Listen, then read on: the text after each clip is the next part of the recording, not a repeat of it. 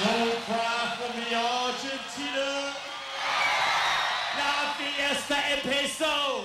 Take a seat, Jay.